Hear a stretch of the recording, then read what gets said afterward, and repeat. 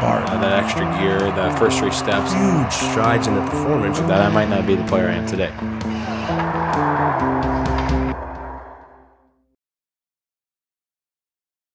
Welcome to another episode of Behind the Gear, and uh, for the first time ever in Behind the Gear history, we've got two videos going at the same time. This is all part of the new uh, the new age we're in right now. The COVID, the Corona. We're adapting. We're, we're morphing. You know what I mean? We're getting things going.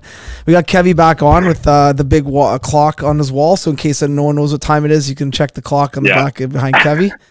And we got uh, Patrick Ouellet today. So Patrick Ouellet, um, a native of the, it's Quebec, and um, but Pat has been a buddy of ours obviously for a long time, and uh, has a pretty cool hockey story as far as where he came from, where he went, being a little French boy, used to eat his boogers on the playground, to uh, going on and coaching CIS to the Nationals, and we're going to talk about kind of the the uh, the upsetting, kind of heartbreaking. Um, uh, situation that you guys got into this year, just with everything going on in in, uh, in society. But before that, uh, where's Patrick Ouellet from? So Uli, uh, welcome to the show. First of all, you anything that you want to do on pump my tires or anything like that at all? Or your average guy, I would say, pretty decent hockey coach. But other than that, no, I think I think you're well known around London in the hockey scene. So I don't I don't need to pump your No, you don't have to pump my You do that. Um, You, you do that on your own. yeah, yeah, you're right. You're right. So And Uli, got- if I if I came got- if I bumped into you on the street and I said, uh, "Hey, Wills, uh, where, where's home for you?" Like not I'd now, but London. like where are you from? Like where were you born when you were like a little puke? I'm I'm born. Uh, I'm from a small town called Baie-Comeau, northern Quebec. Uh, there's a Q uh, hockey team. That's Yep. part of the Drakkar. Yep. Um, so a very small town actually, to about roughly twenty thousand people.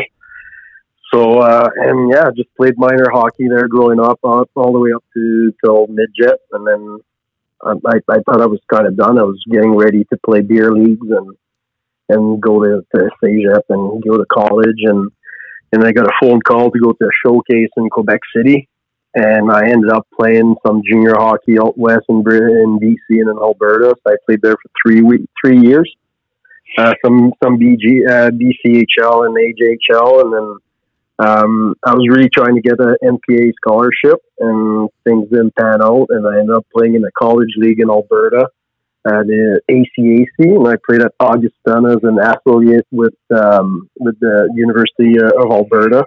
Was a small little league, like eight teams, and was pretty good, uh, pretty good hockey. And uh, out of that, I had a pretty decent uh, season, and uh, had a couple scouts from the CIS or U Sports now, but CIS back then, and I got to um, to to, to had a couple offers, and then I ended up choosing uh, Western. So I have been uh, I've been here ever since. We're talking 14, 15 years back now, and played four years here for uh, for Western, and had uh, four successful years as well, like on on the ice as well as uh, the classroom. And I really loved the city. And after that, I ended up playing one season in Europe, and I was in uh, Serbia and uh, in the Slovenian league, so which was a great experience.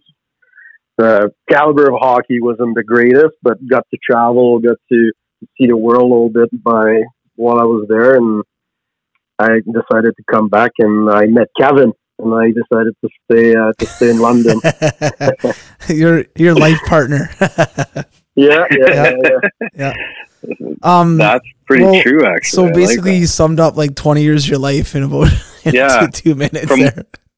from one Right. question, I like that. That was That, awesome. that might be the So most. you want me? You want me to answer. expand on that, or I thought it was, that was on the clock? So yeah, no, no, but I think a cou- a couple things I want to kind of highlight with you is you're you're you're very athletic, obviously, and, and growing up, I know maybe you weren't the best player on your teams, and it, maybe didn't play AAA or were the best players on the AAA teams, but you were a multi-sport athlete, meaning you played ball, you played, you guys had a lot of sports going on in the small community of Baie-Comeau. So for you, how important is it now when you're dealing with young kids?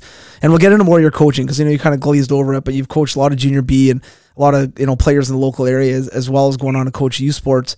Um, but how important is it for you right now and the, kind of the message that you send to young players that are kind of 12, 13, 14 to to not focus? Yeah, hockey's a big focus for a lot of them, but go play other sports. Go you know get good at throwing out, catching a ball, and, and different things like that. You know.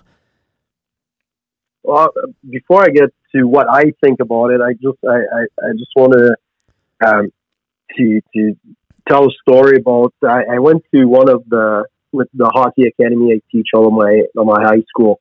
we, we, we went to Ottawa to uh, to have a seminar. Like all, all the teachers, they have to go every year, and they, they kind of gave us like uh, meetings, and we have like guest speakers, like uh, um, Willie Desjardins was there as a keynote speaker, one of the former uh, Canucks uh, Yes, coach, and Yeah.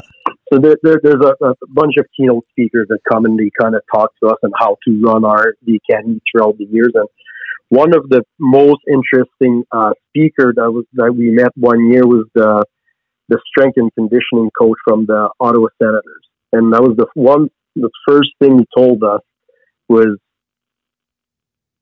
as as young athletes or young players, you need to you need to, to, to learn to do other stuff, right? So before you can skate or before you need to know how to run, right? And it, it's just the one thing that, that stuck to me. And he works with professional athletes, where like it, day, day in and day out. And it was, it was like, it's unbelievable the amount of parents that come to me. It's like, you got to train my, my, my son or my daughter to be a pro hockey player. And well, and you know, first question he asked the parents, like, so what other sport does, does, does your daughter or, or son play? And the parents just look at him like, well, he wants to be a hockey player. He's gonna he's playing hockey. That's it. Yeah, so And it's like true. most of those kids, like they don't they don't know how to run, they don't know how to jump, they don't know. And like you said, like right, like you don't know they don't know how to throw, catch a ball, and it, it's pretty tough to make to make athlete or elite hockey players when the the, the, the players aren't athletes, overall athletes, right? So it, it's just one one story that stuck with me since since I met the, the, the this guy in Ottawa is let your son or daughter play different sports, and it, it's true, right? Like, it, and we hear it all in the news or on, online with like for, former NHL players like Wayne Gretzky's a big advocate for like let them play lacrosse, let them play soccer. Like we all did that uh, growing up, and nobody was specialized in a sport when we were 12 years old yeah. and, and I think it's it's it's such uh, an important part of becoming a, an elite hockey players, but just an overall good athlete, being able to do different things. And and one, one other thing on the side note about the the, the Ottawa uh, strength strength and conditioning coach was uh, it prevents a lot of injuries, right? Because your body your body is not supposed to, to, to, to be in a skating stride twelve months of the year this is not a natural movement. And I was really impressed when how he was explaining things like this is you, you, you can be pushing in a stride 12 months of the year, like your knees, your groin, your hips, they all, they all kind of, they all, they, they don't, they're, they're not supposed to do that. I know I'm repeating myself, but that's, that's, No, it makes sense, man, for sure. I think that's, that's yeah. what he was saying. So, right, like you're supposed to be running, you're supposed to be kicking, you're supposed to be jumping, you're supposed to be other stuff than just playing hockey. So, to just to kind of recap everything on the question is let let the kids play other sports. Let them be baseball players in the summer. Let them play soccer player in the summer, and then they want to pick up hockey. Um, in August and September, when the hockey schools are starting and the, the camps are starting and stuff like that, then uh, the other thing, pre- injury prevention, but you've coached, I've coached, Kevin, you've co- you're, you're coaching before too, is how it, it becomes hard to, to, to engage the kids at every practice, thir- Tuesday night practice, Thursday night practice. For them, is just another practice. They had like 10, 12, 15, 20 practice like over the, the, the past two or three weeks with like hockey academy or Yeah. whether it's, it's practice, it's high school hockey, it's like minor hockey practice. It's, it's, it's all over the place. And just to get them engaged and, and uh, hungry all the time, it's really, really tough as a coach uh, standpoint. it's kind of weird, right? I think like if you think back on years like we hear stories of Bobby Orr, and I know he's maybe a little bit before our time, but you know, and they were all kids who didn't have ice in the summer, so they played, they went swimming, they played basketball or uh, baseball and lacrosse and all this stuff, and Gretzky same thing. And then we almost went through a shift where when rinks started keeping ice in 12 months a year and there's more opportunity to play hockey 12 months a year, probably 10, 15 years ago, kids did hockey 12 months a year. And it seems like now we're trying to get back to, now, don't get me wrong, there's still lots of parents and players doing hockey 12 months a year, but we're trying to really preach now, no, be a multi sport athlete. Because to your point, you know, and Kev, you can talk to this too. We see some of the players that we work with in the summers at the NHL level, and most of those players are guys and girls are like they they're athletes, man. You give them like we always joke with this, but you give them a basketball, they'll figure it out in an hour and they can play a little bit. You give them a soccer ball, they'll figure it out in an hour and they can play. You know, they're just athletic. They can run, they can kick, they can shoot. They they're coordinated. You know. No, I agree, and we've talked we've talked about it a bunch before. It's funny how you you know whether I'm with you on here talking to someone or I you know listen to the podcast when you have other people on, but anytime this comes up, this like it doesn't matter. You got Uli on for the first time, and you got other coaches, other strength guys, other skill guys. The same stuff keeps coming up. They keep saying the same things, and I think it's important for some of these parents to start, you know, recognizing that this is important for their kids because it's easy for us to say it, but it's important for these kids to do it. You know what's hard though, And as to- a, to as a. I totally agree with you. You know what's really hard as a parent though? you uh, you kind of take a step back and you're like, ah, you know what, we're gonna put the hockey bag away in, in April, you know, and uh, we're not we're not gonna play spring hockey. But then you hear about all your buddies are playing spring hockey and all your kids' Yeah. peers are playing spring hockey. Like, oh my god, these guys they're gonna pass my kids. So then you're jumping on the ice and you're doing stuff. And I get it as a parent even now with my young kids. You almost get anxious with it, and I'm I'm almost on the other side of it where I'm like, no, we're and there, there's opportunity obviously with what I do for a living. Or Ools, you could get ice at the rink if you wanted to. You know, if your boys love hockey, you can get them on. But I'm almost on the other side where I'm like, no, like we're not even talking about it. If he wants to throw pucks around the basement or he wants to go outside on his rollerblades, no problem.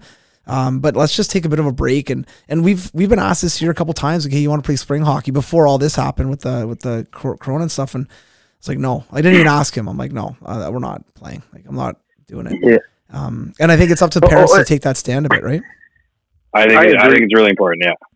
Yeah, and I agree too. And it didn't mean we didn't play hockey for four months, like from April to August, but it, it meant maybe we r- like uh, roller hockey a little bit Yeah. or street hockey, or it didn't mean we didn't step on the ice at all for four straight months. But it, like you don't have to be like in spring hockey, practice twice a week and do this and go have a private lessons on top of that. Like there's there's there's a happy medium and and everything in life, and I think this is definitely one of them, right? For sure. No, I agree.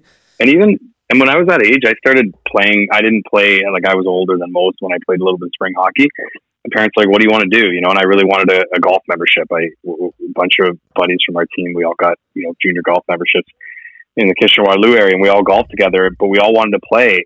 Like I wanted to play too, or whatever. And they were like, "Well, we can do that. Like it's important to show your kids too. Like, hey, well, if you do this, you can't do this, or we can do only do so much of this, and then that's and we can do a little bit of this." And I got to play in one tournament, like for a couple years, like like as I got a little bit older and it was a fun tournament. It was like in Collingwood, and I know it was probably now I look back, it was probably my my dad uh, subliminally trying to get me to play in it because it was like all his buddies going, and it was probably a fun weekend for. Yeah. for yeah, exactly. It was probably a fun weekend for all all the dads and and moms that went, but but we went to one tournament, you know, and that was it, and it kind of became like a little bit of a ritual. It was like a weekend away for all the kids and families and you know parents, whatever, and and I think so. I take doing everything in moderation and just making sure it's not I mean, you're seeing some of these kids, they're playing a full season, tons of hockey, exhibition games, five tournaments or whatever they play in, and then maybe like three, four, five spring tournaments. Oh yeah. That's nuts. Yeah. It's crazy. A lot. Totally. Can't believe Kenny would make you do something like that. yeah. I actually I can't believe that you golfed since you were that young and you're still not that good at golf. That's crazy. That's a great point. That's a great point. I play wrong handed now with you guys just to make it fair. That's why. well, thank you. I'm not even going to comment on that because my golf game is absolutely disastrous. But, um, but it, it goes back to, to like so, like you're happy that usually the hockey season comes in and it's provincials and we of course you want to win and but I don't know. I it was, I was like that. I was like all right I'm, I'm sad it's over but I'm kind of happy it's over. Or like all right April comes around like all right hockey season's over. I'm not even that mad.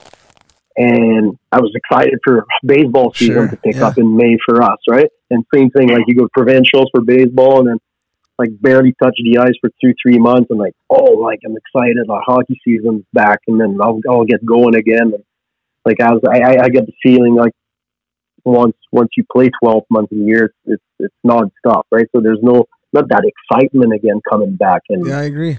For so sure. I don't know if it affects any any anything like the the guy players been motivated to, to play or not play or I don't know. It, Yeah. It's just uh, it it is a, a touchy subject and everybody has their own opinion about it. But a lot of ex- experts, and I'm not saying we are experts, but doctors and and strength and conditioning coaches are seems to have the same message about about the subject. So Yeah. Yeah. No, totally. And I think like I think one thing too, going back to kind of your story through minor hockey and going to play junior, it's one of those things where a lot of kids get stuck in that bantam midget age, so that 13, 14, 15, and they're not sure what they're gonna do. They're not you know, they're they're they're pretty good, they're getting better, but they're not really at the top of their game or the top of that AAA group or whatever. And then they kind of like, ah, maybe I'm like kind of like you did, ah, maybe I'm just gonna go to college. And then one opportunity comes out, like I'll go to this camp or I'll go to this tryout or I'll do whatever, and all of a sudden you make the team. And I, I'm for you, was that kind of a bit of a turning point when you got what out of that basically out of that showcase or whatever it was, you got a little bit of an opportunity, and then from there, I mean, obviously. Those next two, three years were big learning years for you, not only on language, because you learned a different language, but just on, I think, hockey, because you obviously got a lot better in those two, three years of playing junior in order to earn yourself a chance to play a little bit of college and then moving on to university hockey as well. yeah, yeah, it is this it it's getting it's getting a chance, right? Like especially being like in a remote community, a little bit like far away from big centers. Just put uh, people in perspective. Like Baie-Comeau was a five hour drive from Quebec City. Yeah. So there's no double A, there's no triple A. Like you, you got like the what we were called were double B, and that. So we had like a couple players that were like if we would have lived in Quebec City, a couple like maybe four or five of us would have played double A in Quebec City, but we also had a couple maybe B players that were playing on our. It was our travel team, if you want. So it, it was a mixed bag of everything, and we, we did we did pretty well with what we had, and it, there's not a lot of scouting happening, and you're kind of like you're the big dog in your in your in your team all the time, but it doesn't mean you're that good of a hockey player just because the Yeah, caliber yeah. is not really there, right? Like yeah. like I was always one of the top player on my team, but doesn't mean in the whole province of Quebec, like I was I was nobody really, and just but just getting the chance to to, to move out and like now I'm not knocking my small town by any means because of everything I basically knew about hockey. I learned it there and I had great coaches and everything was fine. And I'm not the only one that's come from a small community and kind of play junior or play or play university hockey, but it's just the reality of thing. You're not in Toronto, you're not in Montreal, you're not in big centers, so you just have to deal with it and you learn to to, to play. And once you move, uh, you move to, to bigger things, if you will. Uh, you just learn the ropes of the game, the junior hockey scene, and how things are. And and like you mentioned it about the language thing, that was the big thing for me was moving to BC, and I, I, I couldn't speak a, a word of English, right? So I just moved. That was a, just a big learning curve for me. I was 17 years old, and the only thing I you knew I knew right was whatever the basic things you learn in uh, in, in in your English class. If I can translate that to uh, people in Ontario, is what you learn in your French class, right? So it's not Not you're not really uh, yeah, not very much. no, you're not really holding a big co- conversation, right? yeah, So yeah. uh, just going there, Billet family was speaking English. Uh, my teammates were speaking English, and you live you live in, the, in an English city, so you just you pick it up. Just the, being immersed in it is the best win of everything that I could take away from those years is, is, is that. But even if it doesn't sound like it right now, but um, it, it right like I, I, I, I made the I made the most of it. And yes hockey was great. I met a lot of good people and I won games. I lost games. I won championship lost championship. But then the big the big picture of things is is that learning curve that was the the, the big seller for, for me and mostly my parents sending me out there. And and the big selling point was well mom I'm gonna learn English even though it's probably not the first thing on my list but no, oh, no, you're gonna meet now you're girls. looking back and yeah, well, yeah, yeah. No, but it's it's just it's just life, and you get to living away from home to kind of teach you good life lessons, right? And and and in the other sense too, it, it allows you to kind of put to apply all the the the, the values that your parents are taught you growing up. Now you're all, although you're living with a billet family, but you're kind of on your own and kind of um, learning a lot on your uh, by about yourself on okay, how how I'm going to deal with this. Um, I was in Vancouver, so I'm pretty far away from Baie-Comeau. yeah, Like how am I going to deal with huge. that? And right, so Yeah. that- so to me, that was the big learning. The big life lessons was was that part of junior hockey. It's, it's, yes, the hockey, like I said, you, learn, you become better hockey players, and you become a, a better better person. It's a good point, though. I think like even when I went away and, and lived, and I was in Markham, so it was only two three hours away from home. But um, I had a like a nicer house in Markham. I had nicer cars than I had back home, like as my billet family. Uh, but you really learn to appreciate what you have at home. You know, no matter how good or bad Mhm. it is. You know, uh, I was very fortunate to have a good home and a good upbringing. But um, yeah, you definitely learn. You learn a lot about yourself, like you said, but you you mature a lot and, and you realize there's more to the world than what you lived in in your small town of Sudbury or Baie-Comeau or Ayr. I'm sure Kev, you went through the same thing when you went away to school and kind of branched out a little bit. You kind of appreciate what you had, kind of when you leave it. You know. yeah, it was it was crazy. I was obviously uh, like you. I was only a couple hours away, but but I, I felt I was I was spoiled at home. You know, my my parents kind of we had everything we needed, and my mom's a, a caretaker for sure. So I I thought it was big just for growing up, getting away. I think it's really not. It's not. Uh, it doesn't have to be done. Like there's lots of great hockey players that don't move away till they're older, but I think it's a really good experience for kids that eventually want to want to get away and get on their own to move away into like a billet family. Because like it's like a it's like a halfway house. You know, you, you should hopefully be on your own to like do some of your food and, and your laundry and cook some of your meals, stuff like that. And um, hopefully you're doing that at your house anyway. But I, I think it's it's it's kind of like a halfway house, like I said, and it's a good good learning experience for kids. I couldn't imagine going through what Uli went through with No. not knowing the language. Like when I went to Europe for the first time, you know, I was I was a lot older. I, I'd already gone away and played junior, played, you know, gone to the States to play college, and then went away and couldn't speak the language, but I was an adult. And even that was hard. And I was, Yeah. and I wasn't like rules. I was living in a house, you know, our coach spoke a bunch, but most of the guys on the team spoke English and our coach spoke, spoke a bunch of English. So it wasn't even crazy that way. Uh, that would have been, that would have been tough. Like it's impressive for a, a 17 year old to do that. No, Yeah. for sure, man. Definitely. And yeah, and now like being basically, you know, completely bilingual, obviously, and then kind of moving forward a little bit. So getting out of the kind of the junior, you get an opportunity to play a little bit of college. Was that something that was kind of on your radar? I know you're like looking at an NCAA scholarship like most kids were, and maybe that was going to happen, wasn't going to happen. And then all of a sudden there's an opportunity for you. Was it more just, let's just keep this train going. Let's just keep trying to play as long as we can and keep pushing this cart up the hill as, as kind of as long as we can. Absolutely, it is like I barely knew about that league in, in Alberta. The ACAC is for I know people know like there's like uh, SAIT and NAIT and I was playing in Augustana. There's like Was Mount Lethbridge Royal in there that too? it. No, Lethbridge in the CIS. They are right. Okay. All right. Yeah, yeah. But Mont Royal is in the CIS now, but they used to be in Yeah. my Okay. league, in in my league, not my league, but in that Yeah. league. Um, so, but yeah, and a couple, uh, couple of teammates uh, for for my last year of junior in the AJHL, they kind of same thing. They were looking for maybe NCAA, and that didn't happen. And a bunch of guys they just say we're going to to Augustana. So I'm like, I contacted the coach and was like, well, like if there's a spot for me, I'd like to, like you said, keep that train going. Hopefully, we can. Yeah. Uh, I can keep playing, go to school now, and and yeah. So it wasn't really in the plan, but then I had an actual. It was a great year. It was in Camrose, Alberta, just east of Edmonton. Okay. And they have a great. They have a great junior uh, junior team, the Camrose Kodiak hmm and they used to go to their Royal Bank Cup all the time. They were really, really strong back when I played uh, in the AJHL, and uh, so the, the Augustana College is attached to to the rink uh, in in uh, in Camrose, and we had a great season. We had a great bunch of guys. Um, so it was a great transition too for me to um, go from junior and then playing in that college league before I made my move to uh, to CIS. Um, like I said, I had a real good season personally.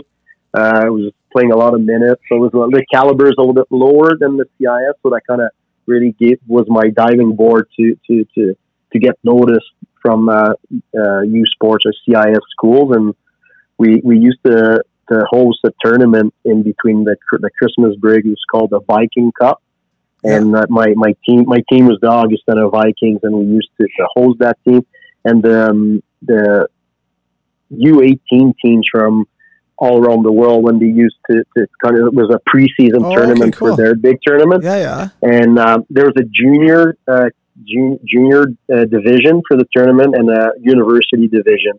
So we used to do a couple pre pre or pre tournament games against the under 18 or under 17. I can't even Yeah. remember. So obviously the kids are the kids were a lot younger than we were because we're a college kid, uh, but they're a lot more skilled than we were. So the, the games were pretty good. And in the preseason, and then uh, the AJHL would have a North All Star team and a South All Star team, and play these teams. And we were like the the my Augustana team. We that year we had uh, University of Lethbridge coming, and Guelph was there in the university Oh, division. okay, so they were And playing. we, yeah, and then we ended up uh, as a college team. We ended up losing to Guelph in uh, in the final of the tournament um, in double overtime. So that kind of showed how like the ACAC league was pretty, I would say, as good as CIS because it wasn't the case. But just at least we had a couple, a few guys that could at least match up right to the U Sport uh, caliber. And this, so could and, you uh, scout out of that AC? Like they could, like for you going from there to Western, did you lose a year of eligibility or was this straight transfer? No, problem. no. Like that's no straight tra- transfer, and Okay. I think that's because that was considered college league Yeah. versus university, but it was still a pretty good caliber. And I just had a great tournament. And I think the Western scout from Alt West, Doug Hodge, was at the tournament, and Haji. I, yeah, Haji, as as a defenseman, I led. You're talking about pumping, pumping my own tires. Yeah, yeah, so pump them, pump right away because we can't find Yeah, stats back so- in the seventies. yeah. Uh, no, I, I just led, I, led, I just led the tournament in scoring, and I just just just a good two weeks, right? It's just bl- blind squirrel finds a nuts once in a while, right? you found a lot that weekend. Oh yeah, so uh, no, but it, was just kind of I said it was a diving board. But that's how it happens, though, right? for Yeah, like, for kids out there, though, you have one good weekend or one good game or two good games in a row, and a scout happens to see ya. Man, this kid's got something. And one thing I know, and kind of, we're gonna get into Western here in a sec, but I got to know you and first met you at Western. I was actually just came back from playing, and I was coaching with Clarke Singer there, and you were on the team. And um, if there's one thing that you know I, I know about you as a player is you know you're definitely a guy who is a battler. Like if you're going into a game seven with a team and it's going to get mucky and dirty, like you want Uli on your team because he's going to go stand in front of the net in the power play. He's going to probably draw a couple penalties. He'll have a couple guys not liking him. Block. He'll block shots. Like so for you in a tournament like that where you're probably playing a little bit for those Guelph teams, if not, you know, trying to maybe get a spot there, trying to you know promote yourself a little bit and showcase yourself. Uh, it would have been a perfect opportunity for you to do that, and obviously you did, and, and and good things came of it, right? Well, yeah, like the um, the the Guelph coach was like met with a bunch of us after the tournament and kind of just giving us his business card. So like we'll we'll be back in the playoffs to recruit and and and that year the the U Sport uh, national tournament championship was in Edmonton Oh, which cool. was 40 minutes from from Camrose. So, um, like I met that week, we met like a bunch of my teammates and uh, and me. Like we met probably four or five different schools from the OUAs. Like Lakehead was we had, we went for lunch with a bunch of teams that were That's all cool. at the tournament and McGill and. Uh, Western didn't make it that year, but Clarke was in Edmonton, and I got to go sit down with them, and it just came down to make a decision between which school. But like you said, it was just a good uh, a good chance for for us to shine and kind of prove ourselves, and because most of us wanted to kind of use that, that college year to to, to to showcase ourselves and and hopefully get get on with a, a U sport team. And not sure if you remember this or not, but how many guys off that team roughly got a chance to move on? Like, let's say one or two, five or six. Was there other From, players? from my team, at yeah, like from that age, group, like your, your yeah, your boys there, like the guys you played with. Uh, quickly, I know. Oh, Jeff Martin. Remember Jeff? Yeah, yeah, Jeff was on my team at Augustana, so he came. yeah. And I uh, two other teammates went to Lakehead, and I know for sure two other guys went to University of Calgary. So It's pretty Right. cool though, right? Like on- six guys, yeah, Five, six guys, yeah. yeah, yeah, and maybe and more, I but think yeah, maybe one or two more guys. Yeah. yeah. So No, it's I think awesome. that shows though that there's like different paths you can take. Like, and I was like you, Wills. I played double B. Like I played AAA for a little bit, and then played in a Yeah. small. You know, we had a thousand people in our town, and and played in a small town, and you know what I mean. Played a little bit of junior B and, and whatever. But and then you know, but for you to go to go out there to move a, a long way, and then play at you know college, whatever you want to call it, prep college, Mhm. whatever. And it's pretty neat to see those different stories. And yeah, none of us ended up make playing in the NHL. But that, I don't know that that was you know obviously we always wanted to do that as a kid, but we got to play a lot of hockey over some of some guys that you know maybe in, were in our areas that got drafted over us or were better than us, you know, and bantam and midget or whatever, and, and just took a, little, a bit of a different road and got got a lot of fun years by by just kind of exploring different opportunities. Well, I think that's one of the well, big things, man. Like we all extended hockey for a good five, seven, eight more yeah. years. Got some schooling paid out of it. We all got degrees out of it, and we all took mm-hmm. different paths to get to where we where we were. Right, we're all from different areas, you know, of Ontario, Quebec, and you know, yeah. we all ended up play, basically playing a bit of pro as well and seeing a little bit of the world. So I mean, yeah, you never know when that opportunity is going to come, and obviously for you know for all of us, I think it was just kind of you know, playing well at the right time. People saw you being consistent, you know, working hard, all those kind of things we always talk about. But um, yeah. yeah, it's one of those, it's one of those things where don't give up on, on, on, on your dream. If you love it, you want to put the work in and, you know, you want to keep going at it. There's opportunity. And I mean, even that, even the league you're talking about, like the ACAC, I don't think a lot of people even know about opportunities like that to, to almost have that bridge between junior and uh, U sport. You know what I mean? There's that little bit of a bridge there that is something that people can seek out as well, you know? Yeah. Uh, and we all end up playing in the same team in the Sunday League at Thompson yeah, we Arena. tear it up on Sundays right now in, in That's uh, right. our beer league team. It's amazing.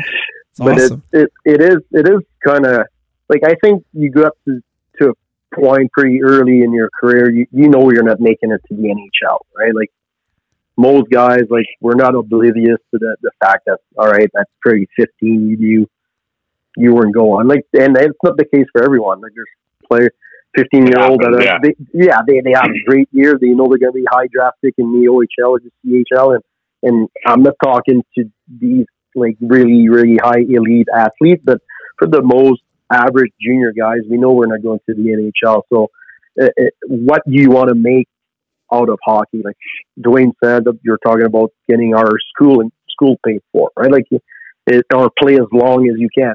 And just a, a funny story well, it's not funny, but it was just a story that that came came to mind, and it happened last weekend.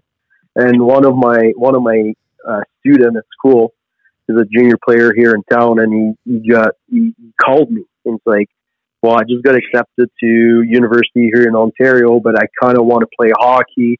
And he's not really like usually U sports. Like you get to play U sport at in hockey, you get to play when you're 21. When you're done, you're junior. Yeah. But he just started playing junior, and now he wants to know, like, Patty, what do I do? Like, I want to go to school and and but I still want to play hockey and I'm not too sure what I want to do. So what like he's kind of asking for advice and, and now I don't want to send the wrong message to anyone because I'm a school teacher uh, after all. But school will always be there, right? Like it, you can start university at 18, you can start university at 20, 20 like you can, but your hockey years are pretty limited. So as long as, and again, I, I don't want to send the wrong message. Oh, I think that message is good, man. I think, important. I think it's really mm-hmm. good. Yeah. Right. Like it, it's, uh, and whether it's university, college, or like a trade, like it doesn't really matter what path you take. Same with hockey. Like if you have a, a, a career, like a goal with like goals, what you want to do in life, it doesn't really matter what, what type of schooling you're, you're getting. But think about your hockey years. Like I said, they're pretty limited. Like we got to play until like I, I was in Europe when I was 26 or 27 and that was it, right? Like we played a couple of years senior hockey, but right, like it's, it's, not the same thing. But so to go back to my story is like think carefully what, what you want to do because if you want to stop, and again, this kid, he, he's, he's got a good head and he, knows what, what, what to do with his schooling and stuff. And he knows he's not going to the NHL as well. Like he, he's pretty, he's pretty cerebral and he, he understands what's going on. But okay, can you go play BCHL? Can you go and keep the thing and the wheel and the train going? And because I told, I told him like if you kind of stop when you're 18, it's pretty much done after that, right? Yeah. Like it's so. But if you get accepted in school when you're 18 at the university level, I'm talking about like if you get accepted, there's a good chance you're when you're 20 or 21, you'll still be accepted, right? So it, it, it's pros and cons, what you really want to do about like, but I, I you know what the rules like years from now. I think I think the Vicey game is is bang on, and I think I'm fortunate. I, am sure your parents, Wills and, and Kevin, your parents are the same. Um, I, I we didn't have a timeline in my family where you had to finish high school, go to college or university, get a degree, get a job, make sure that job had a pension, get a mortgage, get married. Like there was nothing like that. It was go travel, go live, like get your high school. Obviously, we'd love to, for you to get a degree in university or college or get a trade, but there was never a timeline. So I never felt that pressure. And my advice to a lot of kids now is exactly what you told them, Mools. Like, don't feel like this is a family decision. So I'm going to tell you my advice, but you talk to your family about it. But you shouldn't feel like there's a, I mean, at 18 years old to go to university, graduate at 21, 22, and then what? Get a job at TD Bank and, and get a mortgage? Like, that sucks. If you can play hockey for another four or five years, or you can travel or do other things, and and like you said, go back to school at 21 or, or at 19, you know, but live your life and enjoy it. I think sometimes, especially if it's a good kid with a head on their shoulders, if it's a kid who just wants to go live on the beach in France for a year and, and, you know, sell knickknacks on the beach, okay, that's maybe a little bit different, but you got a kid with a good head on his shoulders who wants to, you know, try to pursue things. I mean, I don't feel like there should be a timeline on it. I think it should be enjoy life and, and make sure you're doing, you know, making responsible decisions, but man, if I, I 100% agree with you. If you want to pursue hockey, I mean, yeah, your timeline's so small to pick it back up at 20, yeah. when you're done and say, hey, I'm going to really try to go play senior or go try to play pro. There's hard, really, really hard. And I think what you said about it being a family decision is important because it is. It's, it's like kids deciding, hey, do I get take that, you know, the, the high end kids, do I go to the O or do I go NCAA? Yeah. You know, well, it's different for everybody. It depends. What kind of player are you? You know, how, how mature are you? So, you know, all, all kinds of different things. So just like that, like, are you, are you going to be able to, cause it is hard to not, like when you get out of high school, it's hard to be out of school for a little bit. And I did it like you, I, I, I was done, done high school and I was two or three years out, uh, before I, I went to university and, and played again. And, uh, it, it, you gotta be right, like the right type of kid. Cause it's hard to get out of the classroom setting and then take time off and just jump back into it again. It is. But if you can do it, take advantage of it. It's like, it's like let's say you're uh, like Rules was, you know, 26, 27. A lot of people, and I was, I was, I was done over there a year or two before Rules, but a lot of people be like, whoa, you're, you know, you're 25. You should really, should really be settling down with, uh, you know, your, your girlfriend and, and looking at marriage and kids. Like, what do you mean? Like, I don't, why? Just because you did it 25? Like, yeah. I, you know what I mean? Like, play until you want to, you don't want to play anymore, until you don't, you don't love it, or until your body doesn't do it or until you just don't want to and because you meet someone and settle down but everybody's different and you, there's no no set time or, or, guideline on when you have to when you have to do things no I, I, other, I, other, than what it was said about junior being done like when you're when you're 20 you're done. So yeah. you, you use that time when you can. Yeah. Yeah so like did those two years of you not playing hockey and going to school right away did that change anything in your in your life path right? Like i mean exactly. it, and again, and you, I think Dwayne, you said it the best. It's a family decision, but you can't have those years back. And we all know, and we all wish we had those years back if you could. Now that I wish I had last year back. but yeah, so it, it's just like I said earlier, and you talking about work, Kevin. Like, like work will be there when you're 35, 45, 55, right? Like it's it's yeah but you're young. Just, you, just well, work, not, work, much work, right now. Work will be there today, yeah. but when you're 35, yeah. yeah, yeah. Anyways, we, are we're, we're not sure about. Yeah, you're right. We don't know what's going to happen. technically, it should be there. yeah, as yeah, long as right. we have internet, we got something to do anyway, right? We can just keep meeting on the uh, on the podcast. Be perfect. yeah, yeah. Um, okay, but moving forward now into like coming to Western, obviously, pretty big school, big reputation as far as being a you know, pretty good program with Clarke Singer being there for a long time and um, and obviously, you know, a good reputation of, of being winning, of a winning team. You were there for four years. Just kind of run through real quickly. Like, I know that there was a couple good, well, a couple, you know, runs at the national championship, a couple good runs that way for you. Um, what was the whole experience like at Western? First of all, anybody who's not from London, Ontario, thinks of Western, thinks blonde hair, good bodies, girls everywhere. Like it's it's it's it's crazy though. It is a good looking campus, guys, girls. There's a lot of people there. Um, you know, there's it's pretty fun for I think people coming here and, and obviously athletes coming here. It's a pretty cool vibe. It's a pretty cool area. But what was it like for you? What were kind of your experiences? Well, it was, and again, those four years went by really quickly. I wish I could get those four years back because they were they were amazing. They were great. And as much as junior hockey, a lot of fun, but now you're you're young men, right? Like 25 to 25 young men on the same team, but you you you live on your own. There's no family. Like you're you're you're let loose into the wild, basically. Right? So you're like we talked about it earlier. You're you're you're learning to become an adult to be to to manage a lot of things. So the first year is often a disaster for a lot of a lot of student student student athletes. Oh, for sure. So uh, so uh, I think I did all right on the ice that first year, but uh, in the classroom it wasn't it wasn't my my best year of, of record for sure. Um, no, but then, like I said, you just learn to to, to, to manage everything. School, um, well, hockey. Obviously, you're, we're kind of in. We're, we're, we're used to it because we've played, we played junior hockey for three, four years. So the hockey part is one thing and usually is the main focus. But now when you get here, it's, and Clarke Singer is really good about that is that you're, you're a student athlete and it's really important to understand that um, Western is a fun uh, school, but it's already, it's also a really, really good school. So uh, going through like going to classes and having like your marks up and and um, so it's just managing everything. The first year, like I said, is whoa. It, it, you kind of wake up in second semester, it's like, all right, I got to get my stuff together here and get my acts together because yeah. you party and you right and um, little things that seems pretty innocuous now, but it's like for the first time in your life, really, you're okay. I got to go buy groceries, right? Like those, that's little stuff that usually mom takes care of it, or your family, your adult family takes care of it. But all right, I got to cook dinner tonight, and like you're you're a student athlete, so you're trying to eat crap dinner every, like five nights a week, although you do sometimes. But like it, it's details that you don't.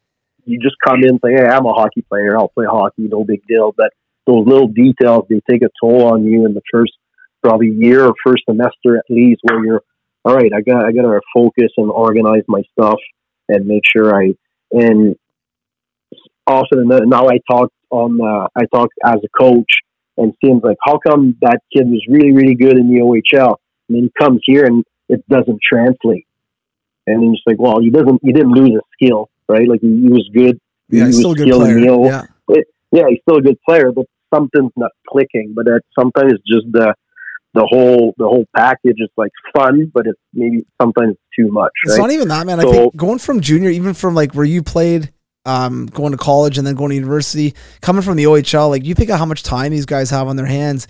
If you're a OA in the O, so at 20 years old, you got all morning. You go in for breakfast club, you go to breakfast, then you go for lunch, and you go to practice, and you have the whole night.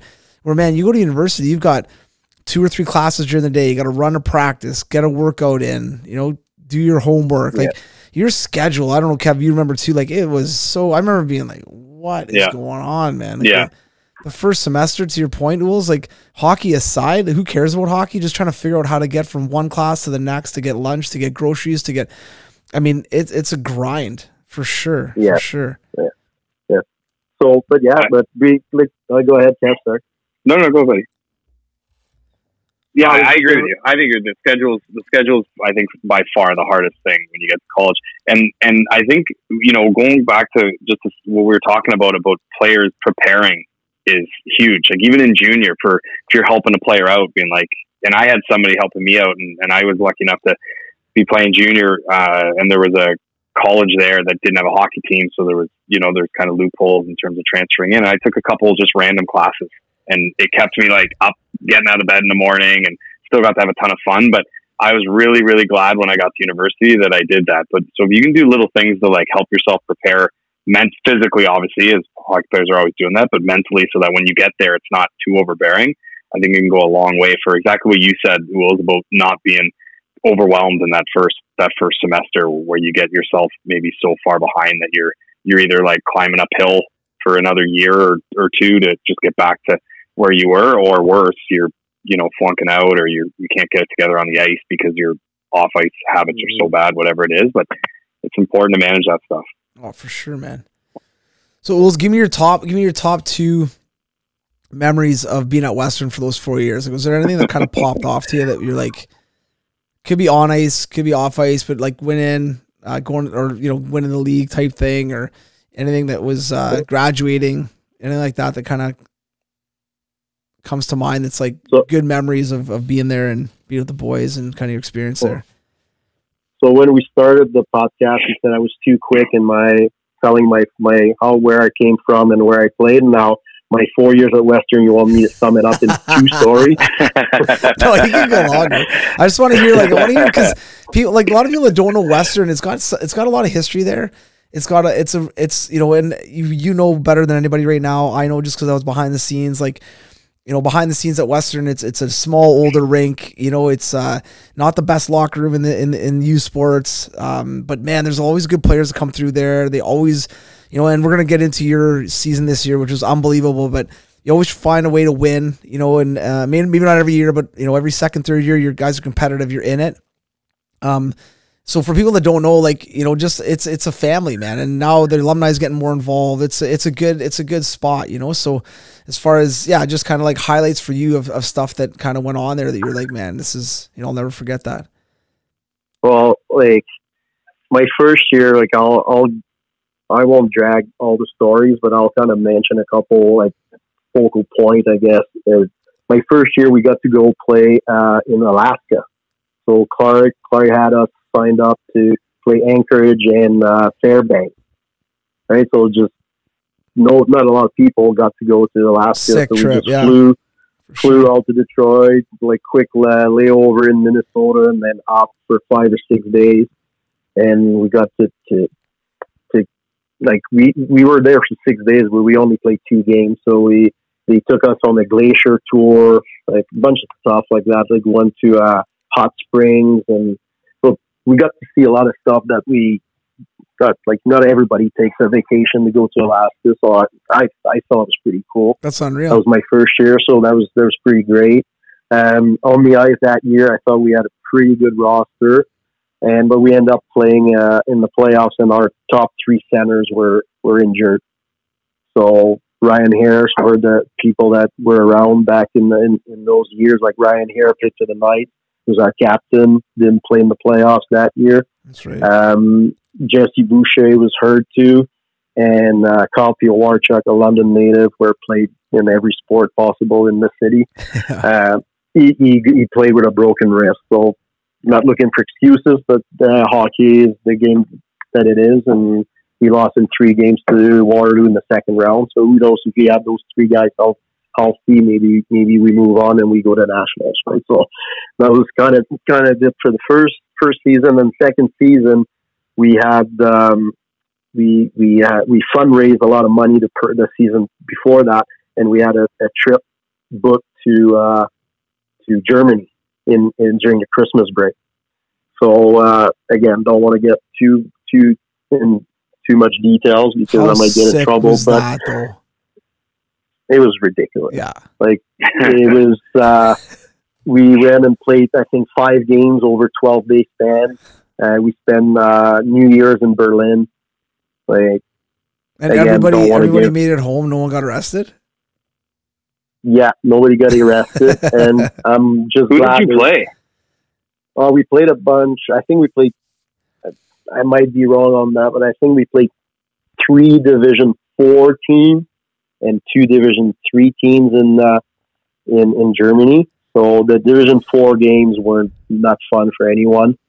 Um, the first game we played after the first period, I think we were up six or seven nothing, and the ref and the ref came to, to Clarke and was like, "No more, no more body checks. We're- You guys are done." It's like it's like if you guys if you guys hit someone, it's going to be two, two minute roughing every time. It's just a mismatch. And so, What- uh, and how we dra- sick is that if you got to play that hungover? You don't even have to hit. You don't have to try hard. It's amazing. and, and, amazing. and and we got to dress everybody. So we had like eight defensemen, like fifteen forwards.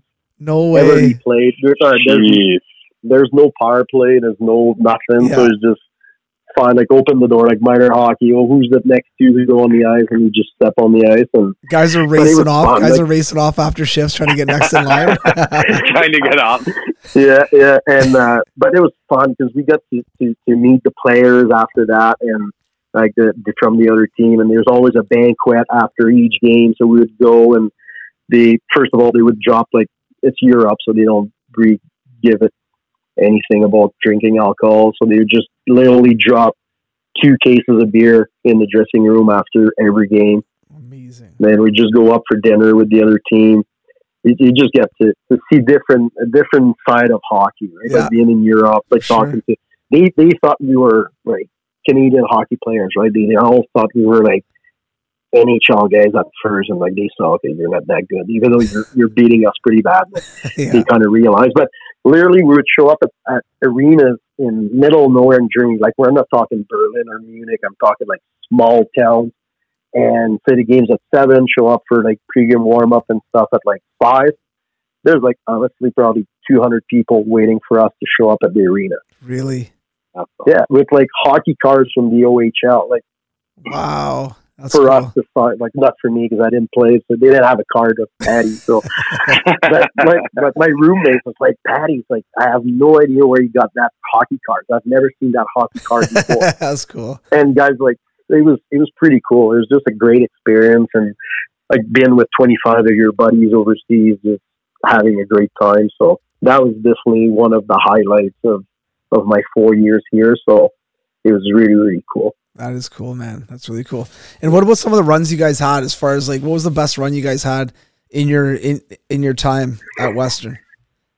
Yeah, well, um, I think the probably the the best, well, the in the history of Western, I think the the the the best game they played, I'm assuming, is the two, 2002 national championship that they won Yeah. in triple overtime.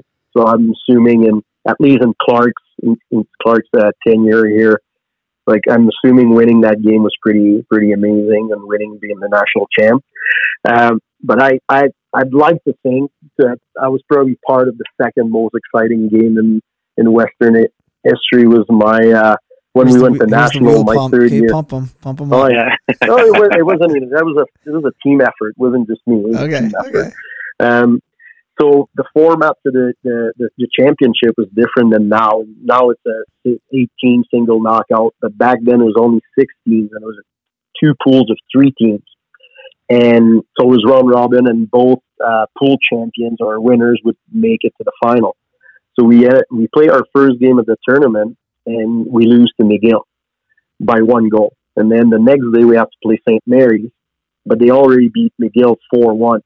So with all the the goal differentials and this and that, uh, we start the game. We have to move on. We have to beat them by three goals. I remember is this. This is sick, actually. Yeah. keep yeah, going. you're you're you're you're a national championship. Like you're happy to win two one and run it run away with the win. And all right, we good, like we got it right. Like it's it's not like oh we're gonna beat these these guys by five goals and it's gonna be an easy game. There's no such thing. So um, when our Clarke and Pat Powers was the assistant coach back then too, and is like kind of pre-scouting St. Mary's and guys, let's play our game. Let's just see what happens and like let's make sure we we're up by a goal with ten minutes left, and uh, hopefully we can pull the goalie and pull some magic. It was literally like the pre-game talk, like you know, let's just win the game, and if we don't move on, like we don't move on, but like, let's play a good game in Bala. So kind of let's win every period. Win every period. We beat them by three goals. Sure enough, that didn't happen. We're tied two two after two periods. So basically, we're still down by two goals. That's what it means, right? Because we have to beat them by three. And we started the third period, and first a couple, first or second shift period, boom, we score a goal, three two. All right, we still have a chance. We're, we might win the game, or we might we might not move on. So period keep going, and then three four shifts later, boom, we score a second goal. So we're up four two. But again, we're we're still basically trailing by one if you if you Yeah. you take all the, the plus minus out of it. And so we're like, keep playing, keep playing. And then we got a power play. And then not even 10 seconds in the power play, boom, another penalty. We got a five on three. So, all right, we got this, we got this. And then, sure enough, power play moves the puck around, boom, boom, boom, shot on net, rebound, score, 5 2. Right, there's maybe 10 minutes left in the third period, but we're still, right, we're, we're, we're up 5 2. But if they score a goal, we're, we're losing right? So we, we're, we're not moving on. Sorry, we're not moving on. If they score, Yeah. they make it 5 3. We win the game, but we're not moving to the national final. And sure enough, boom, another goal. We're up 6 2, and then finally score uh, an empty netter, and we won the game 7 2, Remember that? which Sick. Wish we would play that That's game a hundred crazy. times. We would play that game a hundred times. That would never happen. Yeah. Right? It's just when it's meant to be, it's meant to be, and that kind of was kind of a, a miracle game. It was our, our miracle on ice, if you want. It was Yeah. pretty, pretty, pretty awesome. And then, do you we, guys meet up with. UNB that year in the finals? yeah, we ended up playing UNB, and they beat us uh, four two empty It was netter. a good game. so it was though. a pretty good yeah, game. their goalie was Yeah. really good. I had I coached him actually in Saint John, New Brunswick. Um, can't think of his name right now, but he was a solid, solid tendy. Uh, yeah, I know. I Fullerton. Yeah, Fullerton? Fullerton. Yeah. Fullerton. Yeah, he was awesome. Yeah. Yeah. Mhm. Um, Yeah, but it, it was a great year. It was like a goal away from uh, from being national champs. Right, we were tied two two in the third at some point, and uh, um, again, pumped my own tire. Scored in that game, but uh, to no to no avail. To no avail. To no avail. But was it uh, a, was it yeah, a rebound? was it a rebound off a tip net front off your ass or what? I, I don't think the puck touched my stick. But your Someone hands went up in the air like you you. did, eh? Yeah. Oh, yeah, silly. Pointing at the number. Yeah, it's all, it's all about it's all about being in the right spot. Yeah, exactly. Now I want to kind of Yeah. go. I want to go through th- this year, kind of what happened. And I know you've been coaching there for a couple years now, and I mean we could do a whole other episode on on kind of your junior and and and all how much you've been involved in minor hockey here for the last bunch of years. But you've been coaching Western for the past for the past three four years now. How many is it? Three or four? I just finished the third season. Yeah. Third season. So Yeah. Obviously had some good teams and some you know some some I mean even last year a real good run at the end of the year to to to win out basically and then and then you know clinch a playoff spot and push a little bit in the playoffs. But this year especially had some injury trouble you know guys go down things happen it's hockey. You guys are kind of limp into playoffs. So kind of you know catch one of the last spots or last couple spots in the playoffs start off playoffs as an eight seed and then um kind of go through just quickly the first couple rounds and how that happened. I mean you know, just I mean, it was a pretty cool run that you guys had to get yourselves to the nationals again this year, and we'll get into what happened, unfortunately. But, um, but yeah, like you know, the group of guys you had this year, what happened to, you know, as a coach, how do they kind of peak at the right time where, you know, you kind of had a so-so year, win a couple, lose a couple, win one, lose two, win two, lose one, uh, back and forth, and then, you know, then you get a chance to play in the playoffs, and all of a sudden, man, here we go, we got a bit of a team here. Yeah, well, uh, it, it's still it's pretty tough to, to explain why and how the guys turned it on, and I think it's it has to do a lot with our goaltending. I think for people that follow our team a little bit, like Luke Peressini is a pretty outstanding young man and a really good goaltender, and for whatever reason, I and uh, by no means am I blaming the the, the eighth spot in the in the regular season on him by Hey, pull by pull your means, screen down a little bit. I want to see your whole face. You're so good looking. and I just want to see your mustache and your eyes. You go. All good now. yeah, All good look now? at you. Uh, so good Can you hear me now? Hey, just Yeah. real quickly before you get into your goldies, d- did it have anything to do with the skill development provided this year to your team? You know, when uh, when the skill coach stopped coming in February, they kind of picked it up. That's when the season turned around. I love it. I love it. Uh, no, sir, no, but I mean, obviously, goaltending is huge, man, and you're right. Like, you know, your goalies Yeah. kind of turned it on at the right time. Sorry, sorry, continue. I mean to cut you off. And, and and and we know we know like pairs pairs is such a, an important part of this team, and for whatever, whatever reason, and during the season, not always uh, our best players. Like I think he, he he's a best player on that on that team, and and there's a, the old cliche of when your best players aren't your best player, you don't win hockey games, and especially in, in CIS hockey or U sport is everybody beats anybody. Yeah. Like we have, there's a couple teams that have great season, we lose three, four games, but it, when you look at the, the scores after the after the night's over, it's rarely like more than one goal game, or like maybe a team pulled their goalie out and it's empty netter, and so so tight and um, like system wise, everybody's so so so similar, and everybody knows each other, and it, it it really really comes down to to hard work. And I know again, it's, it's a big it's a big cliche, but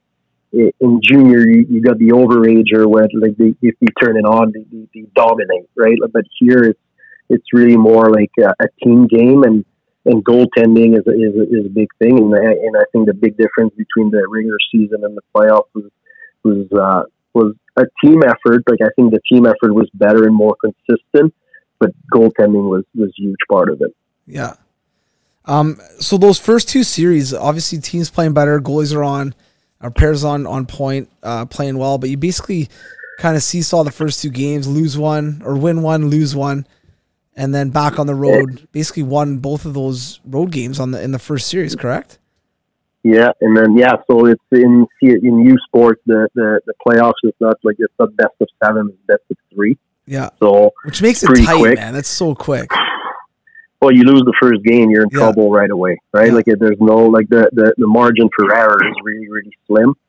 And uh, and first game we started in Toronto, which Toronto had a, a terrific season. They I think they only lost three regular season games, and they really turned our program around. And they had a really really strong team. They're a good system. Like I just talked about that how how teams buy into their programs. They they, they were the team that's with the most goals for in our conference and the least uh, goals against. So really really well rounded team. Well coached, And, uh, obviously, right? Yeah, yeah, for sure. That their coach guy was the CIS coach of the year. Yeah. So um, yeah, for sure. And uh, and we we get we get there and uh, we lose six two. They scored two empty netters, but we we, we weren't really in it.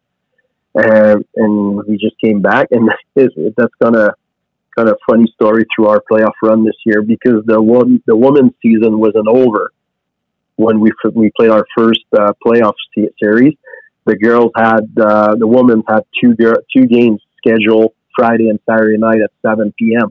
That's usually when we play, and we're like, well, okay, we were stuck, and we got playing Saturday at three, and so for whatever reason it clicked, and then I'll I'll move on with that story, but you'll see how I'm going to link that later.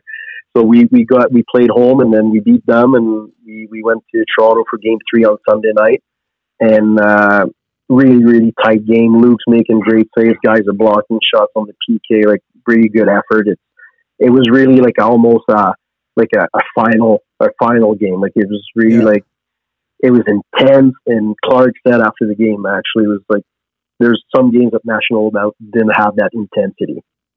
It was really and it was zero zero after two, and then we scored with maybe ten minutes left in the game to make it one nothing. And then off a turnover, we got a two on one, and we made it two nothing right away.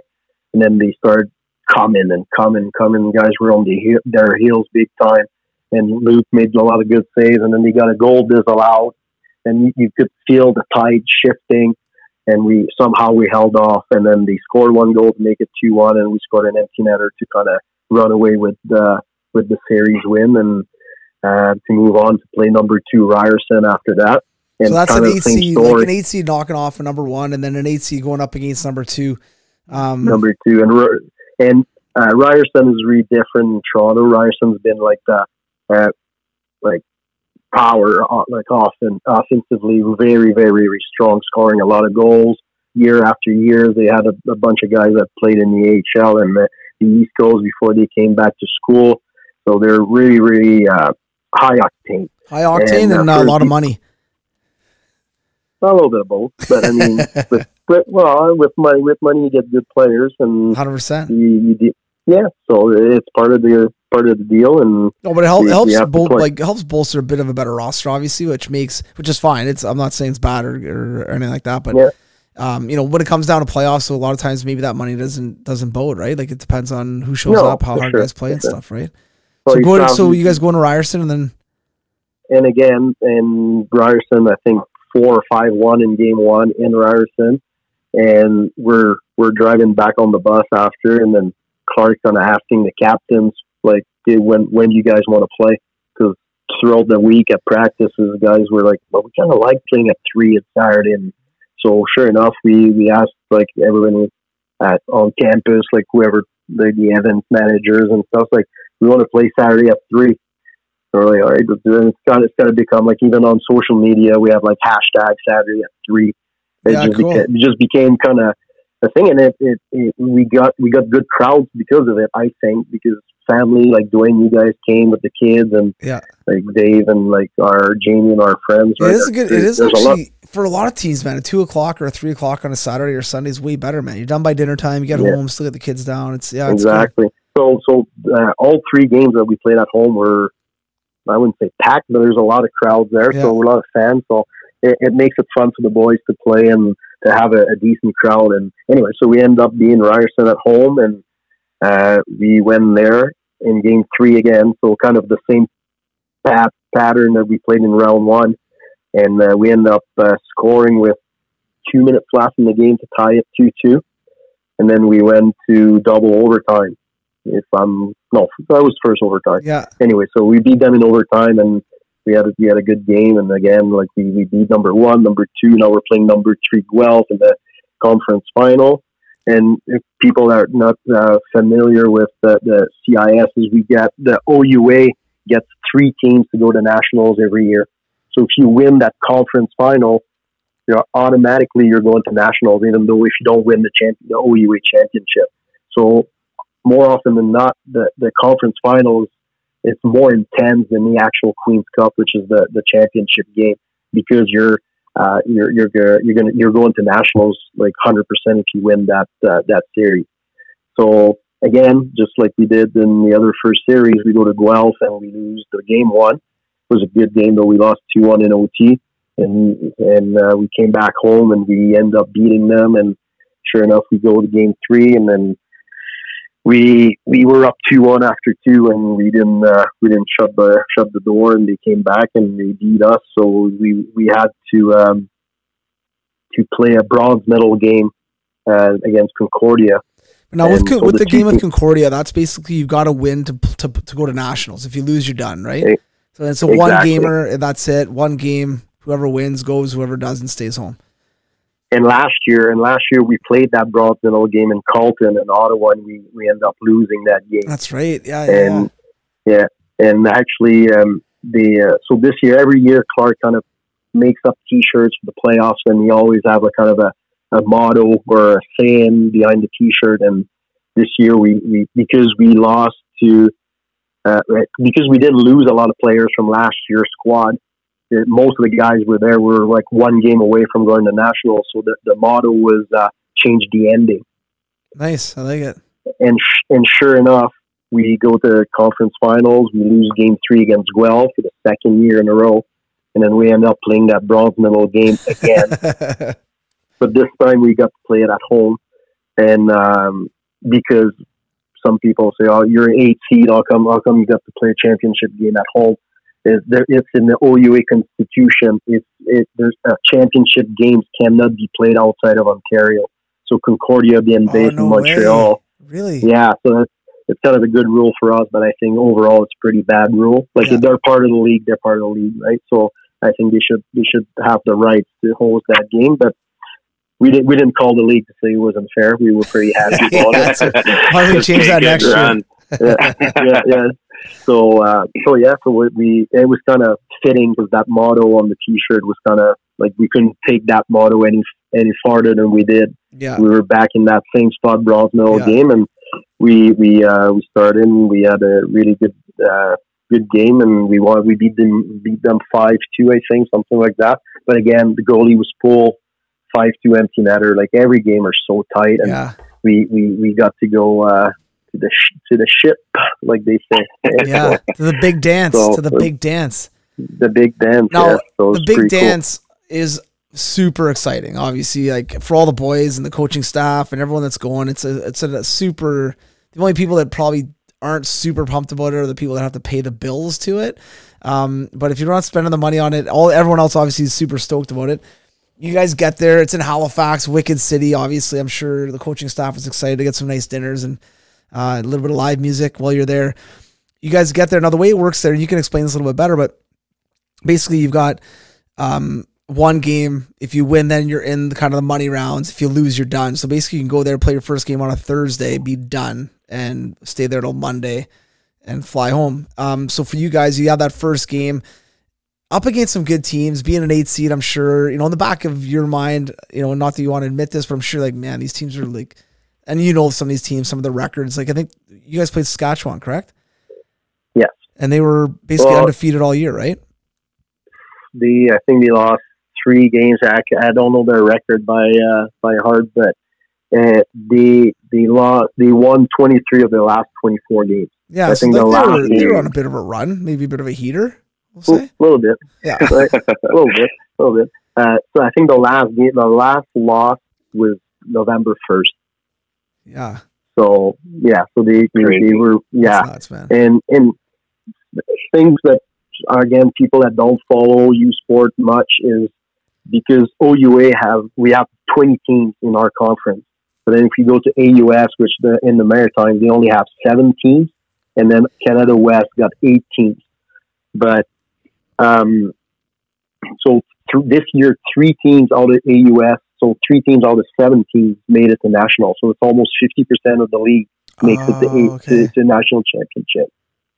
And Canada West, two of out of eight teams made it. So, and then in for OUA, there's three out of twenty teams that makes it. So for us to to to to clinch our berth in nationals, we have to play ten playoff games. Yeah, which is a ton, Saskatchewan? man. Yeah, Well, for for CIS, for like Yeah. people that follow junior hockey, they'll say that's not much, but yeah. we only play 28 games in the seasons. We all play, almost played half the season in the playoffs to, to make it national. Anyways, to, it's cut my story short a little bit. Saskatchewan, they got a buy in the first round. Saskatchewan got a buy in the first round. So, yeah, so they end up uh, sweeping Calgary, I think. So, two game sweep. They were at nationals already. No way. Yeah. So, and then they end up because two of their eight teams make it to the fi- to the, Yeah. the, the championship. So they, they even though they played UBC in the final, but they, they didn't matter. have to win. They, exactly, they, they they end up sweeping them too. But uh, just to show how, how much of a grind we had to go through to get the nationals. And and so uh, on the Monday morning, I think the the committee puts up like the seating committee. They they, they meet up and they decide who who's seating number one, number two, uh, all the way down to eight.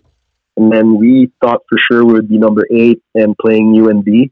And somehow they decided to put us number seven to play against Saskatchewan. And didn't know much about them because we don't play them, right? So we just do a couple pre-scout uh, video. They, they, they got we got a couple games in their finals against UBC. We and that's basically you look at the stat sheet, like all right, those guys are pretty hot. They got a lot of points, and you just go from there. But Yeah. like uh, like Clarke, and Clarke's such a wily vet, right? He's been there for 21 years, so he's he knows he knows the dance and he knows what to do, and he's just like we just we just have to focus on us, right? We just gotta pr- make sure that our guys are ready, play our game. We'll give them a couple pointers about Saskatchewan, and that's all we can hope for, really. And actually, the guys were outstanding, possibly the best game we played all year. Awesome, man. It was a close Yeah. one too, right? Like it was a close game. It was really close. then- We it's I I think we were a little bit on our heels to start the game. I think the guys were maybe overwhelmed, maybe not not by the team, but just like you said about the whole thing being like flying to Halifax and being there and just being to the big dance, right? Like yeah. so, the first five six minutes we were on our heels, and then we kind of took it to them, and then we got a power play which we didn't score, but then we kept going, we kept coming, and they um, we we end up having another power play in, at the end of the, of the first period, and we end up scoring. So we're up uh, one one. Yeah, sorry, one up one nothing after one. So it was a big boost for the boys, kind of get their confidence up and say, hey, we can we can play against these guys. Because you said like you get the UNBs and you get the Saskatchewan. They go there years after years after years, and Yeah. as an OUA, it's more uh, dispersed a little bit. It's not always the same teams going,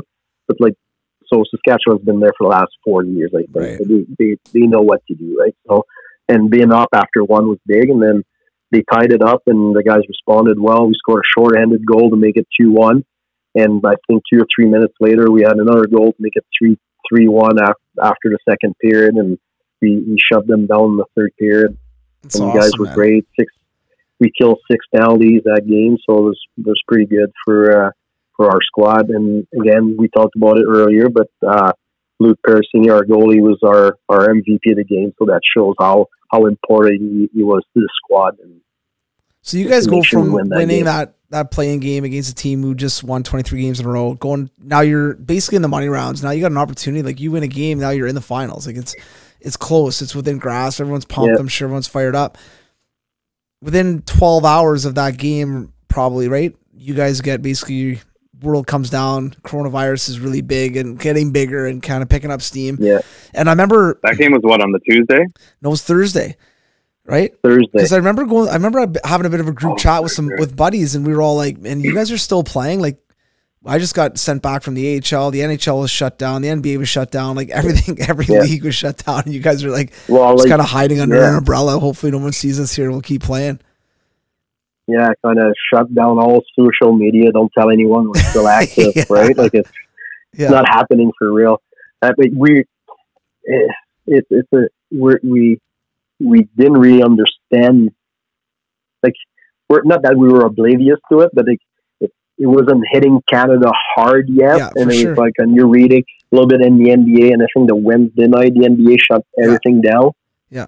and we're like okay, whatever, and then and we're yeah, we just kept going. Like and but the, the the frustrating part and now we're looking back a week and a half or two weeks later. It's like at the moment we're pretty frustrated and because we're all there, right? Like everybody was there since Monday. Yeah. All eight teams, everybody's there. We're all in the same hotels. We had the the league, the, the U Sport Gala on Wednesday night. Everybody in the same room, yeah, right? So if we're gonna get it, we, everybody's contagious already, right? Like yeah. it's, we're all like so.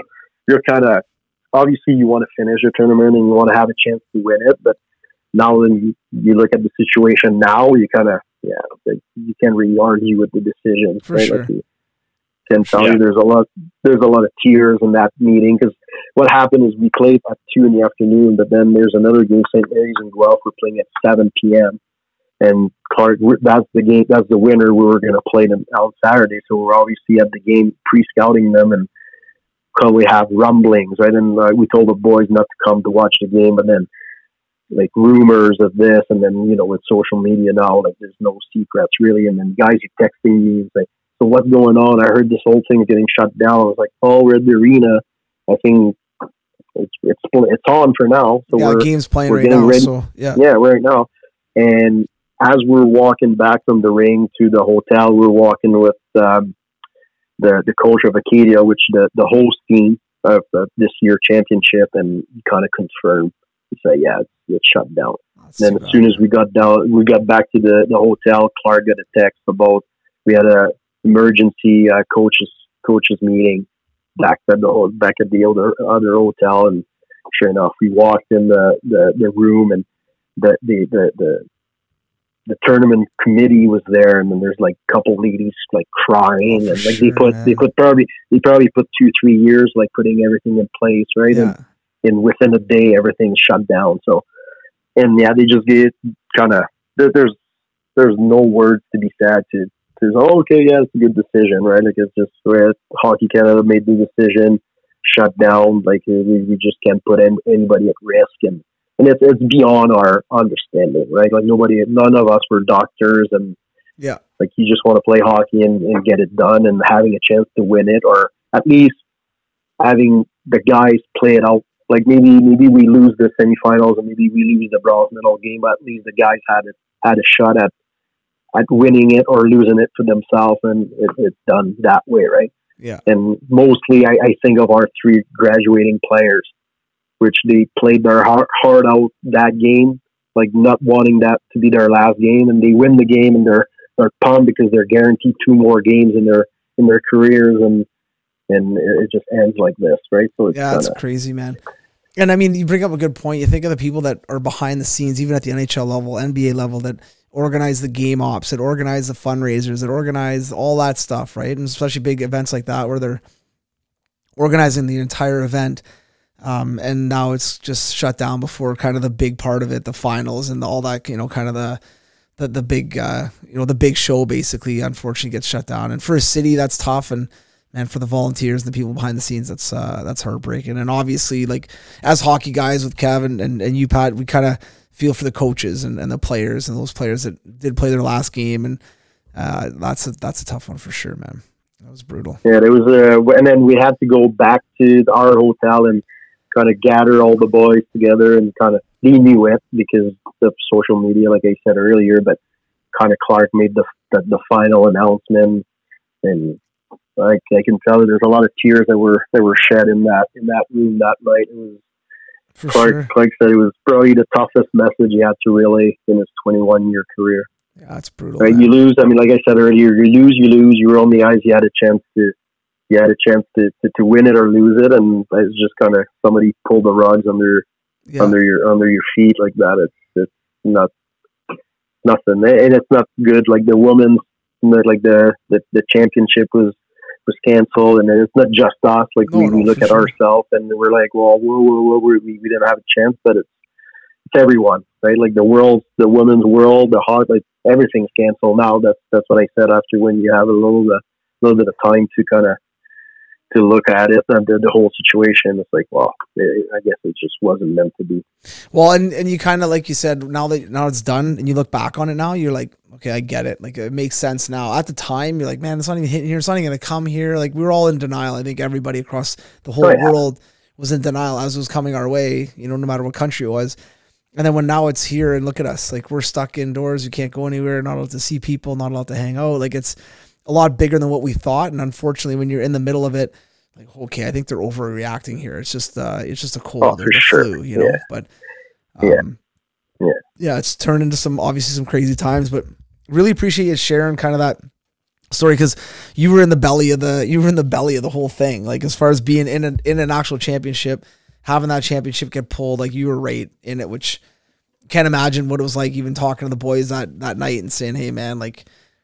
Season's over. Like we're, we're done, and you know, especially going from twelve, you know, five hours, ten hours before, win, not even winning, being there, man. We're going tomorrow. We're and on Saturday. We're playing, and then next thing you know, like, Wow, man, yeah. we're going home. yeah, it's like getting like all of all of a sudden when you win, right? Like everybody's your best friend. Like you get back, you get back to you to, to your cell phone after the game, and you got like you got like fifty text messages like congrats, congrats, congrats. Like Yeah. now all of a sudden everybody knows about Western hockey and Right. what's going on, right? Like it's it's just nice that you know people are following and and having a chance. Like, we we've all been in that situation. Like winning is so much Oh, fun, it's right? cool. so yeah, just sure. you're there and, and it's just the format the tournament too like winning that you you said it like you win that first game well you just bought two yourself two extra games right and Yeah, or you lose and you're done thursday afternoon you spend the school spent all that money to just to fly everybody over and then you lose one game and then you still have to wait till monday morning because our, our flights were booked right so you, you can't you can just assume you're going to lose the first game and have flights Yeah. for Friday morning and you're gone, right? So Yeah. you're still, and anyways, and and it was just it was just a, a battle now because you've got eight teams there, three of them bust, but the other like they're UBC, Saskatchewan, like everybody wants to, to change flights, and it was just we, Yeah, we had a good crew shit work in. Uh, we had a good crew working at, at Western, like the the um, travel agent that kind of runs all all the stuff. She she was up to like three in the morning to send guys all at six a.m. yeah. Right? It's Because it's just it was just mayhem. I just and talked to. I was Uh, yeah, it was crazy, and this has happened everywhere. I was talking to Reed McNeil today, who played a little bit, Yeah. uh, you know, in the HL and stuff. He's over in, in Europe, and he was trying to get out, and he just got out, and he said it was nuts, man. He said they were like when Trump shut the border down in the U.S., they were trying to get like all the U.S. guys out within 24 hours, get them back home, and then him and his girlfriend finally, finally got back, but he said it was chaos, and again, nobody thought it was as bad as it was, and all of a sudden it's like, whoa, man, it's here. Like we got to get cooking, and you went through it But as well at the airports and stuff. How crazy! yeah, and and then then it's for them it's late now, and then it's inter- international flights. Like we were domestic, and yeah, it wasn't that bad yet, so nothing was shut down really about except for like big gathering like sports events and stuff like that. So yeah, but it was just like the logistic of changing your flight and and with all the equipment, right? It's not just like me, you, and Kevin flying and changing three flights. There's like I think there's 39 of us, like with the the medical staff and the coaching staff and and everybody, all the players and like the gear.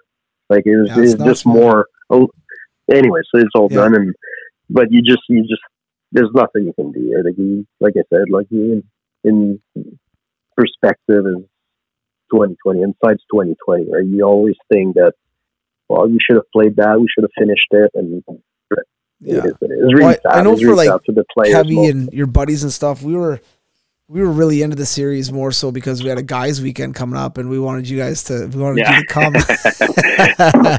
and then every time you guys won, we're like, what? They won again?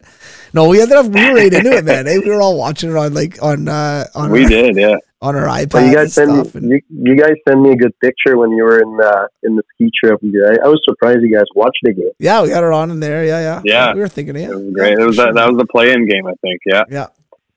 Yeah, we it's crazy though how everyone everyone's been affected by this in a different way, you know. And you see like obviously the the big world thing, like the things that are happening, whether it's work or whatever it is, and you're seeing you know other countries and everything that's happening. But like there's so many small things that still affect you, like like even if it's just a story, like even this, like I hadn't heard all that stuff from Rules yet, and you Yeah. just it makes you think of you know whether it's like you're just your kid, which is a big thing. Your kids not being at school, they're at home now, or you know, thinking just all of a sudden about those last year players that, that Oh, are sure, that yeah. you know, and you start also thinking about yourself, selfishly. You're like, man, imagine your your last year junior or your last year of college or last game of pro or whatever it is, just being just being done without you knowing it. Like if that happened to so many players, Yeah. You know, at all different ages. It's it's crazy how it how it affects how it's Well- still affecting you just hearing stuff. Yeah, they just cancel. I know everybody's aware of it. Like today, they just canceled the Memorial Cup for Yeah, this year, that. right? Like all the all the CHL playoffs are canceled. Like I think the NHL will get canceled. That's just my two cents on it, but I Yeah. don't think there's going to be enough time. No, to- I agree. to- No, unless I they agree have anyway. Yeah. And to go back to Kevin, you're just saying about uh, all the graduating guys. Just a side note on that, Ottawa, because remember University of Ottawa's program Yes, got canceled a few years back. So this year was the fourth year of of, of the program. So we have a coming back. ton of seniors then. Twenty guys graduating. Wow, Oh, They didn't get to play. They didn't even get to play one game at national. no way. Right? Like Yeah, there's, there's like, and when you like, you always look at yourself, and but when you look beside, is always somebody worse than you, right? Like, it's, yeah, can you imagine? Like these, these guys, these guys rebuilt the program. I think last year they only lost two games in the season. wow. They got upset, upset in the playoffs. They didn't, they didn't get the chance to maybe move on this year. They came through. They won. They lost in triple overtime. Their the Queens Cup game against Guelph, and then they get there and they don't even have the chance to skate. And 20, 20 of those guys graduate. That's crazy. and that's think about that. They've been sitting there, coaching staff, players, sitting there going, for in three, four years, we're going to be good. Three, four years, we're going to be good. That's going to be us. And then they finally get there, and that stings. That's That's crazy. man. You know? hard to think That's about. brutal. Listen, Yeah. We're gonna have to do a follow up on this for sure because um we could definitely chat about a ton of different stuff um as far as And we want to hear about your favorite moment 10, 11, and 12 from college, from university. So that can be in the, the next one. want to hear about your favorite your favorite week after the season. So year one, year two, year three, year Yeah. four, but that week after, as soon as the season finishes, what was that week like after the season? We'll get into Can- that can the we- next time we have you on. can- Okay. Can we have a, a special edition of uh, our senior hockey time? yeah, we can. I don't know. We can. We can go Uh, senior into men's league and just how that transition is and how difficult it really is. Yeah. Listen, buddy. Yeah, hang hang on the line, but uh, thanks a lot for coming on, and um, we'll uh, we'll definitely uh, have to do this again for sure, man. That was fun. Thanks for story time, boys. Yeah, it was good, man. Hey, no problem. Now it's bedtime. That. Uh, that extra gear, the first three steps, Huge strides in the performance. that I might not be the player I am today.